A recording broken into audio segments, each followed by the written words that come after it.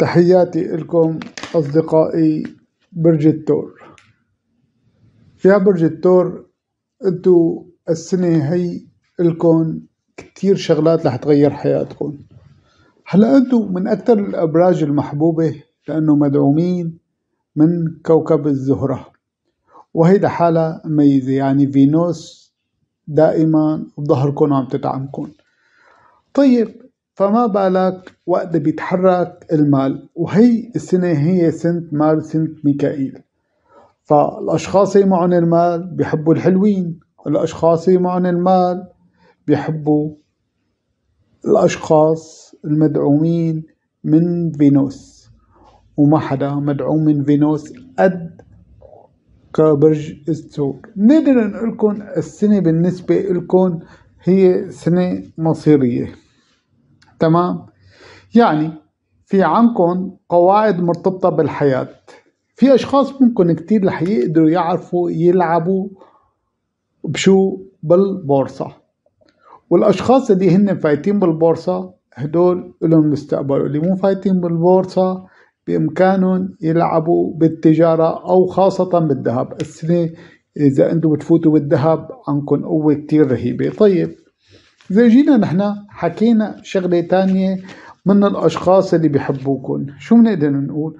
بنقول إنكم أنتو هلأ عندكم صفة صفة الملوكية وهي اللي بتخليكم الأشخاص يلي كنتوا أنتو تتمنوا رضاهم رح يتمنوا رضاكم وبتشوفوا السنة هي قديش أنتو مدعومين.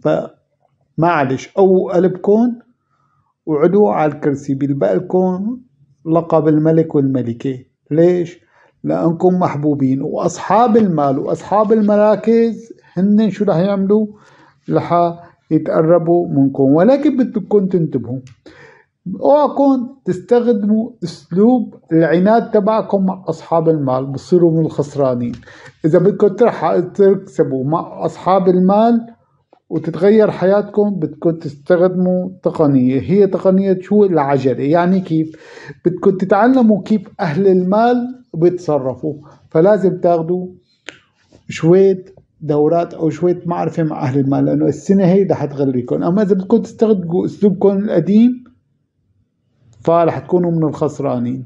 وهلأ هي لمحة شو رح يصير معكم عن سنة؟ وحنبلش هاتوا ورقة وقلم نعطيكم. كل شهر بشهره شو رح يصير معكم. ودائما انتو عم تسمعوا كلامي انتبهوا لشغلة كتير مهمة انه انتو أشخاص عندكم جواتكم طاقة رهيبة وحظ قوي كتير. هي الطاقة اللي عندكم ما بيروحها غير عنادكم فإذا أنتم خففتوا عنادكم فأنتم رح تكونوا من الأشخاص الناجحين. اكتبوا لشوف هاتوا ورقة وقلم وسجلوا. عندكم بآخر شهر 12 يعني آخر شهر 12 24 وبداية 25 يعني بين الشهر 12 والأول. هي هون بالنسبة لكم مرحلة جديدة بحياتكم. يعني بنقدر نقول إنه هي مرحلة الانتقال. يعني بداية السنة رح تعملكم انتقال حلو كتير يا برج الثور. نسميها هدية من السماء أو هدية من الروحانيات. اللي بيشتغلوا بالروحانيات رح تجيهم هدية وسر جديد. واللي بيشتغلوا بالطاقة رح تجيهم طاقة جديدة. واللي بيقروا المؤمنين واللي بيقروا كتير رح تجيهم رؤية. والأشخاص اللي بشغلهم رح تجيهم مكافأة جديدة. هي رح تعمل لهم انتقال من مرحلة رح ينتهي شي عندهم ويبلش شي جديد. هلا في عندك هون بدك تعرفوا شغلة إنه بعد 21 بين بعد 21 واحد بين 21 واحد 23 واحد هيك للشهر الثاني. يعني آخر شهر الأول و ونص الشهر الثاني.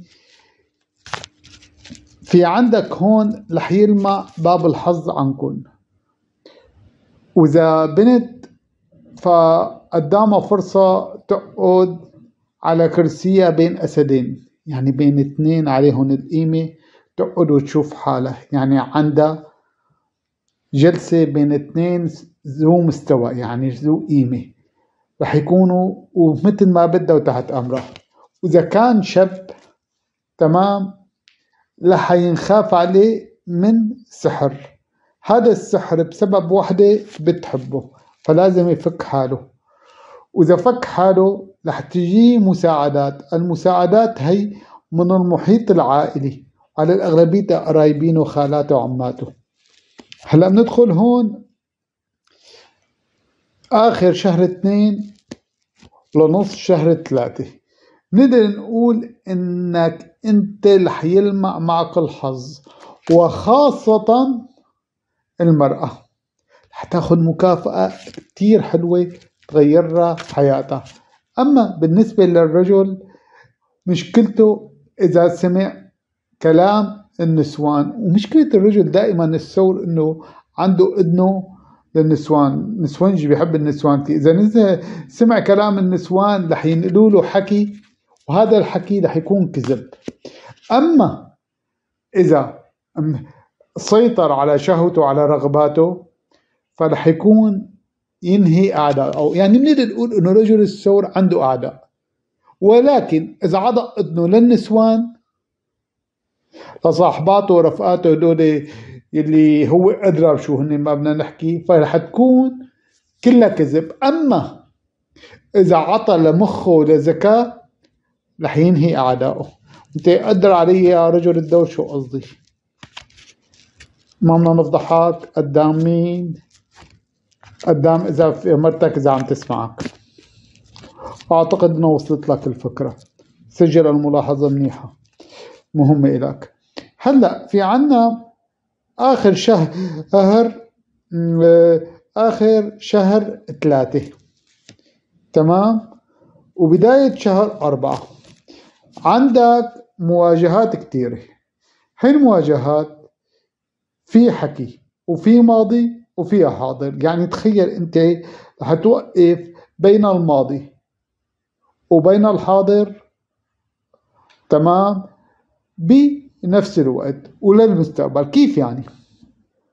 أول شغلة رح يجي أخبار لك ناس رح يحاولوا يوقعوا يهدوا لك الشيء اللي بنيته بحياتك ويحاكوك بالشغلات القديمة وينقلوا لك أخبار ما لا مزبوطة هذا للرجل وللمرأة. هلأ هون رح تضطر إنك تحط ماضي أهلك أفا ظهرك. إذا ما حطيت ماضي أهلك أفا ظهرك شو رح تعمل؟ رح تتدمر. إذا حطيت ماضي أهلك وطلعت للمستقبل رح تبني إيه، مملكتك أو جماعتك أو مستقبلك الجديد. هذا شو بيكون؟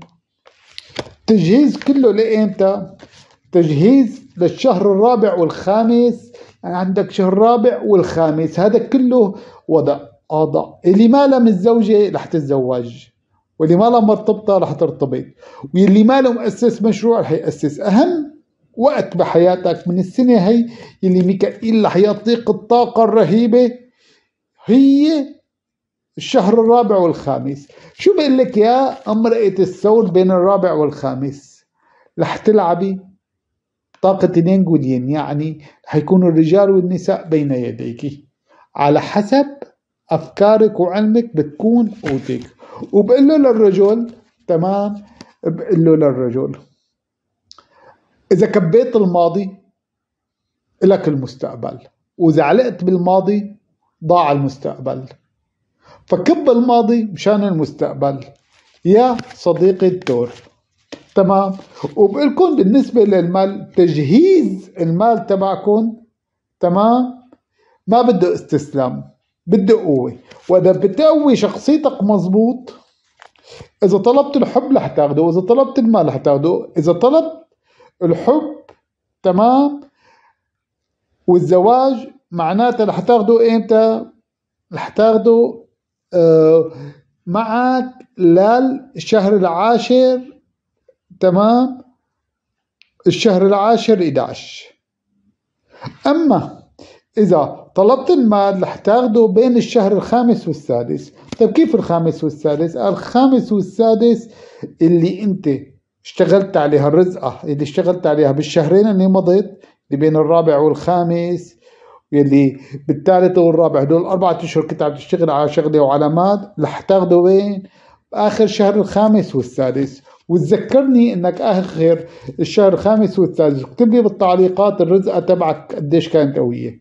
هلأ آخر عندك بداية شهر ستة للشهر سبعة بيتحرك شيء معك من أهلك. تمام؟ فأهلك رح يوصلوك لمرحلة إنهم بدهم يكسروا مقاديفك. يعني أنت مشكلتك يا دكتور مع أهلك ما بعرف شو بك السنة هي. لتخلص من القصة شو بدك؟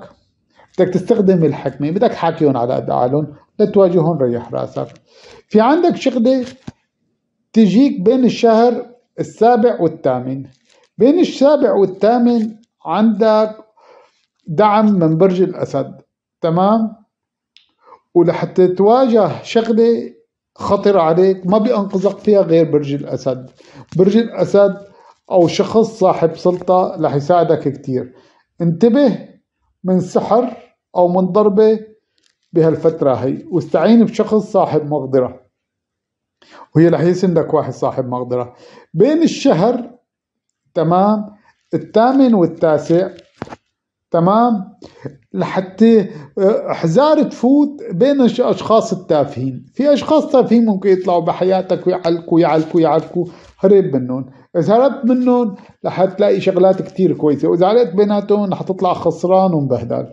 هلأ بين الشهر التاسع والعاشر تمام؟ رح تلاقي حالك شو عم تعمل؟ عم تشتغل لغيرك.